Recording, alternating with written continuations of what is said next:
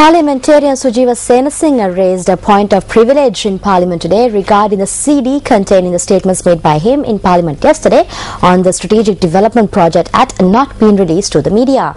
Here is an excerpt of the views that were expressed during yesterday's debate.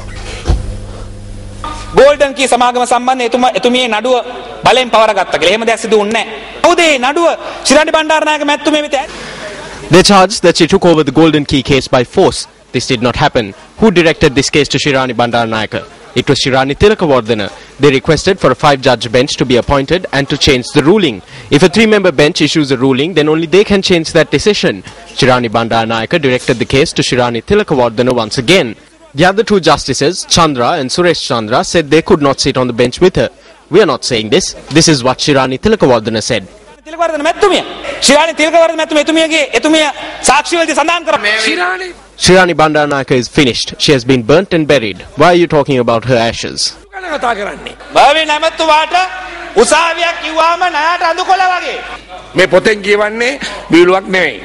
ජනාධිපතිතුමාගේ හෝ වැඩබලන ජනාධිපතිතුමාගේ පාර්ලිමේන්තු මන්ත්‍රීන්ගේ විනිශ්චකාරවරුන්ගේ යුක්තිය පසදිලීමේ නියුක්ත අන් අයගේ ප්‍රයත්ම පූර්ණ යෝජනාවකින් නැර මතු නොකළ යුතුය.